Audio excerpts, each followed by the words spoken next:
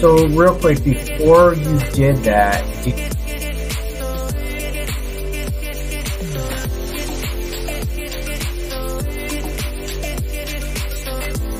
um, and your your origin story. Like, how did you get into? Is that he? Uh, he made an age joke the last time we were. Uh, I'm gonna I'm gonna use that Kuka.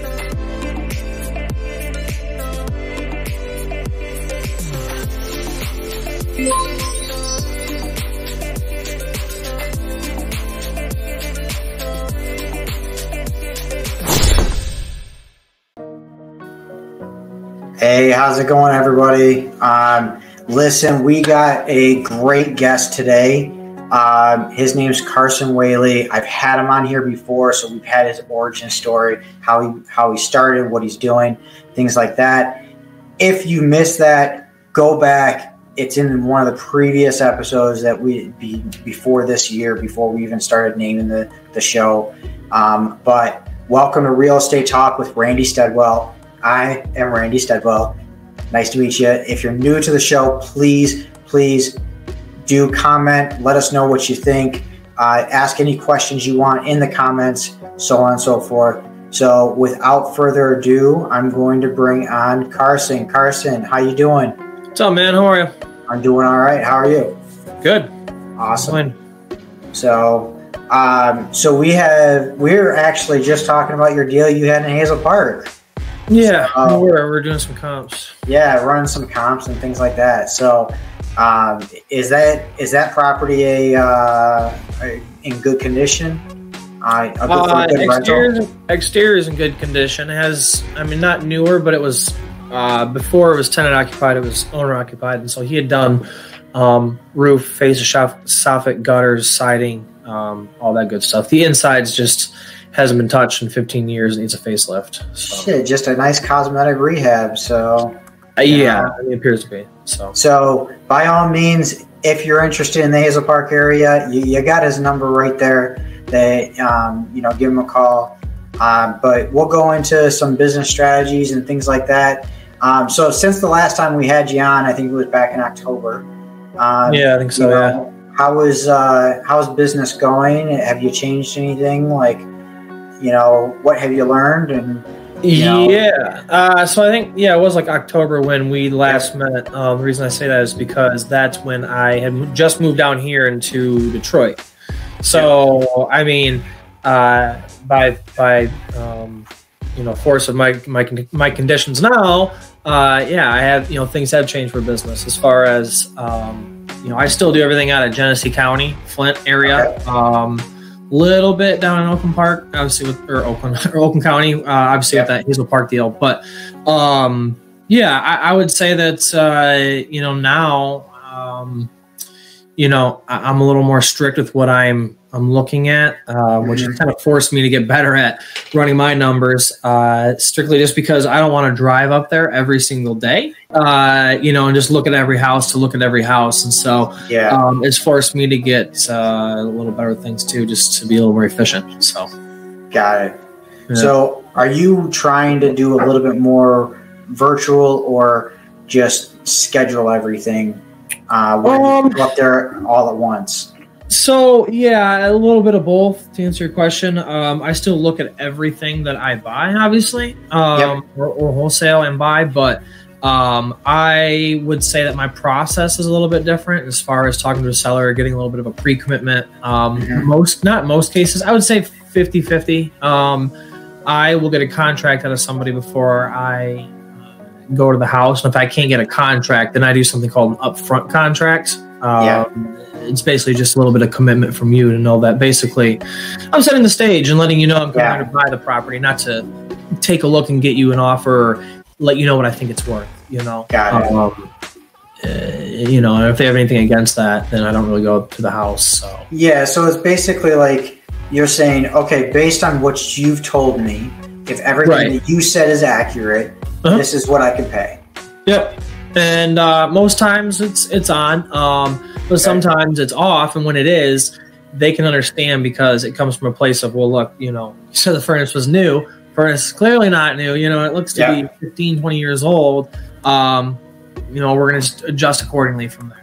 You know, um, as far as price goes. And so it's not, it's really not too bad when we renegotiate price. Um, I think, I think so too. Sellers, right? Like they're not looking at homes every single day, so they're going to miss things or have a little bit of different interpretation, or um, what's good to you might not be good to, or you know, me. Uh, Yep. So it's not really like the blame game. As soon as we get there, we just have a reasoning for why now we're different. So. Mm. Okay. Yeah. So yeah, most definitely, and that's awesome. So are you still cold calling? Like, how are you getting your leads? Yeah, so um, right now we're doing we're just still just doing outbound. I mean, I do want to put some inbound marketing together, but Okay. uh, outbounds doing well. So I do both cold calling and texting. I have um, a couple of VAs that do both for me. Um, they push them over the CRM is warm. Uh, I take it from there, but um, yeah, everything that I do still is cold and outbound um, between texting and calling. Who do you use for your texting? Uh, launch control. I think Okay. I I use launch control. I know launch control and um, what is it? I think it's REI Reply. I've Yeah. heard some good stuff about them too. They sound pretty similar. Um, I think it just depends on what you want or how many people you have working with you. You know how much Yeah. data you pull in and whatnot. So Yeah, most definitely. Um, I actually follow the same type of system. I just don't do the texting. I'm just doing cold calling at the moment. Texting has worked out well for us. Actually, Yeah. um, I'm surprised. I didn't really have any expectation, but it's it's. I've only been doing it since the beginning of the year, but um, I'll tell you that so many more people reply to you, and um, I think because the answer rate is is higher, Mhm. um, the chances of getting a yes is higher. Just obviously, it's a numbers game. Um, Yeah.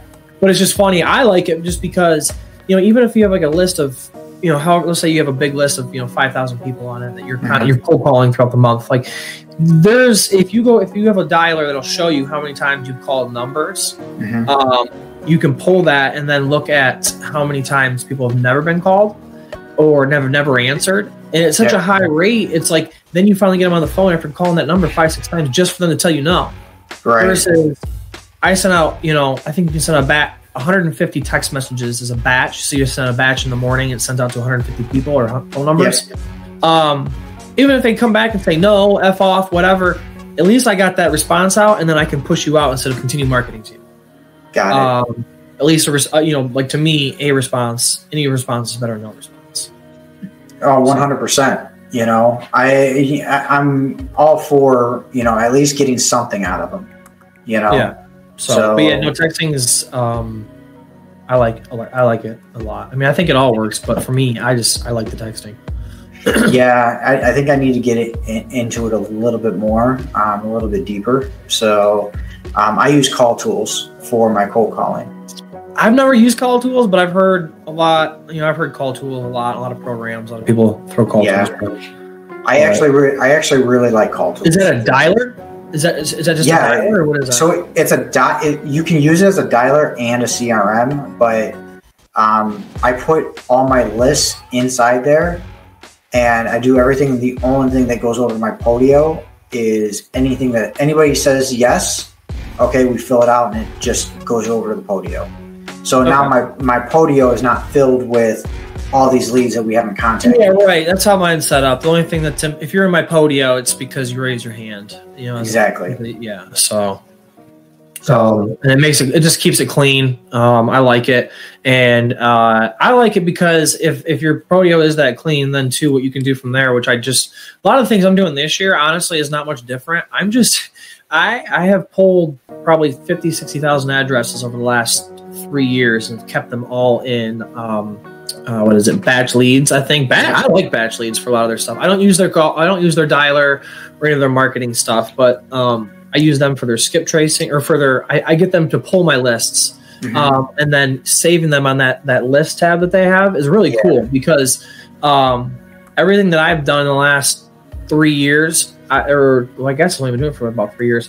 Um, I've pulled that and took all of those people who uh, were still on the table that haven't told me no or we bought it, got a Yeah. deal done or whatever, um, threw them inside the texting, and that's all I've done. And all the texting, all the deals we've gotten this year, which I mean, I say all, but I think it's been probably four deals with a fifth one in the works. The one I got, the Hazel Park deal, that's from texting. Yeah, Um, all this came from prior prior data I've had the last two to three years. So, I mean, if you have enough data, I, I would like I would you know squeeze the ju- there's still juice in there. I would still see Yeah. squeeze the juice out of it. You know, just because you use them last year, like I don't know, it's just crazy for me. You know, unless you've only, I've only been doing it for three years, but if you're in your first or second year, you don't have that. This year, I've just went back and, and, and remarketed a lot of those same people, and I've gotten, I think half the deals this year came from that. So especially if it's a campaign that you know worked. Yeah, that's why you want to track your campaigns too. Like, Yeah. you put, you know, if you have a deal log or whatever, whether it's your CRM or you're running like a, um, you know, spreadsheet on Google, it is so important to know where you pulled that from. Um, Mhm. You know, whether you're beating a dead horse, you're actually still pulling some money out of that, that, that you know, certain list or whatever you pulled. Super important, definitely. All the little things you don't think about, you know, year one and two and stuff. you're just so worried about getting a deal. Um, which again, I mean, that should be your far, you know, your front focus. But some of the little things you pick up along the way, where you're like, just the little things that Yeah. you know can make you that much more money. Is you just your, you know, your awareness goes up obviously over time. Oh, most definitely. And nothing So you can do about it except for you know through time and I guess experience. But yeah, and so what are the some of the lists that you've been pulling? Like as far as um, uh, like the uh, like the criteria, like what, what the am I pulling criteria. Yeah, what are you pulling? Yeah, yeah. So, um, I mean, a lot of the stuff that I do, honestly, has been through um, a lot of the programs I've went to. But um, the two things that I do, as far as like this isn't the type, but like the two that I do is weekly distressed, and then monthly. Well, I, how would you say? I guess weekly distress, and then a monthly large, more general list. So Okay. weekly distress, which there's probably 10, 15 different types you could do, but I do probate, pre-probate, and inheritance. Just Okay. because inheritance could be probate, probate was pre-probate at once, and pre-probate will obviously. So I try to beat them at all corners there. So that's why I do inheritance, probate, and pre-probate, and it's weekly distress because I get it every Wednesday from the source that pulls it from the courthouse. Got it. So then, uh, on a monthly list, what I do is I pull probably 5,000 records for the texting, 5,000 for the calling, and um, those are usually uh, those are usually um, motivation, or I'm sorry, opportunity Mhm. mixed with motivation. So opportunity, like let's say you're looking just to make cash offers, you're not worried about sub two or anything like that. Um, opportunity would be equity, or it's fully paid off, or um, Yeah. they've owned it for a long time. So if they've owned it for a long time, and if, they haven't refinanced, you know, they've it's appreciation plus paid out. So that's opportunity, and then motivation is usually what I'll do. Like for example, is throw vacant on Mhm. there. But then I'll go a little bit deeper to see, like if I'm so if I'm I'm pulling a list and I say you know, there's eight thousand people on this list, I've learned a sweet spot of of how many records you pull. Um, Yeah. For me, anyways, seems to be about five thousand or so. Yeah. 5,000. If I have eight nine, like it's two two two general, and you're wasting time. Yeah. Um, so if it's if it is, say I have um, equity in there, a large amount of equity, then I put the vacancy tab on there. The other thing I'll do is throw at least a five thousand dollar lien on there, whether that's a mortgage or taxes or whatever, because then they have some type of payment or some type of um, you know post for payment that they need to uh, make due before you know foreclosure Yeah. or something like that. So um, it just depends on how how small or large of an area I'm pulling a list from, but typically it's you know opportunity mixed with one or two types of potential for motivation. So um, we do a lot of uh, tired landlord and um, so which usually is tired landlord uh, or what do you call it non-owner occupied Yeah. with Yeah. um, some sort of lien on it, whether that's a mortgage or some sort of uh, involuntary lien. Yeah, I was I was doing tire landlords and I was not being getting successful hits because they're all like, well, yeah, give me an offer, or basically, I want retail price, Right. you know, Right. A- Yeah. and I'm like, sorry, that's not going to happen. So Right. obviously, you're not a tire landlord, so Yep. know. But I'll tell you what, the tired landlords, I mean, it, it's hit or miss because Yeah. you never know what their situation is. But when you have that lien on there and all of a sudden you ring that one person who has been paid in three months, five months, yes, like now they have pain. So, as for as many of them that are out there that have, you know, debt on, debt on their property, but their property is cash flowing with a good tenant, you're still going to get those two, three, four, five deals on that list where yeah. someone's tenant is not, you know, that, that property is not performing. Uh, yeah. And I like those because those are, I mean, those are, those are, those are I, I, like working those deals because the sellers are, are obviously a little more keen to, to real estate. And so, yep. um, it's easier to explain a win-win to them, um, you know, and, and as long as you're actually providing a solution to them, they're, they're easy to work, easier to work with, in my opinion. Um, yeah. I mean, yeah, they're probably, you know, some of them are going to give you a hard time. That's just kind of some people's personality type. But I mean, I don't know. I seem to click with those type of people.